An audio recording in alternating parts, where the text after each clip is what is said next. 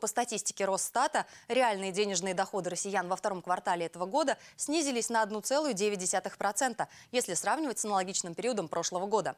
Поэтому, как и в любое кризисное время, в 2022 году граждане с особой щепетильностью подходили к тратам и как никогда тщательно считали деньги, стараясь воздерживаться от приобретения товаров не первой необходимости.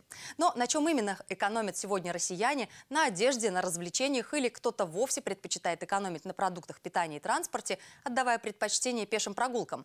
Наш корреспондент подвел статистику и поинтересовался у тверичан, как и в чем именно стараются экономить жители. Сейчас в условиях жесточайших санкций в отношении российской экономики, падения уровня доходов во многих отраслях, люди зачастую ищут возможности для сбережения имеющихся средств. Например, согласно опросу в ЦИОМ, 24% россиян свидетельствуют, что начали больше экономить на еде с марта 2022 года. 32% сократили траты на парикмахерские, салоны красоты и косметику. Среди респондентов 40% таких ответов приходится на женщин, а 24% на мужчин мужчин. А на чем же экономят жители Верхневолжья, мы спросили у них самих.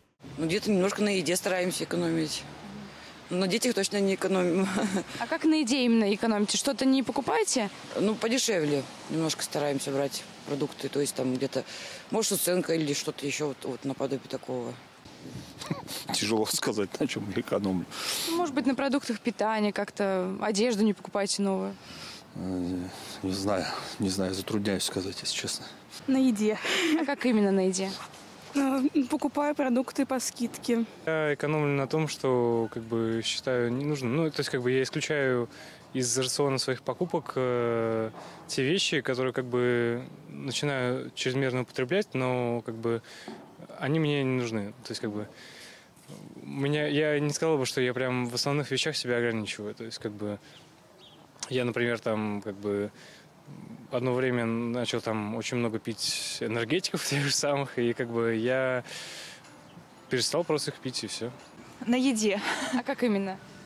Не ем. На хлебе. На одежде.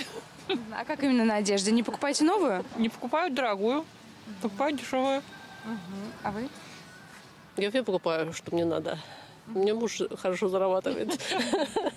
По опросам можно заметить, что тверичане чаще всего экономят на еде, стараясь покупать более дешевые продукты. Вместе с тем, как сообщают эксперты по фондовому рынку, экономика сегодняшней России оказалась гораздо более устойчивой, чем предполагали любые прогнозы. Прогнозы по ВВП официальные и экспертные улучшаются с каждым месяцем. Но все они сходятся на том, что экономический спад может длиться до осени 2023 года. А затем должна наступить стабилизация и постепенный рост показателей.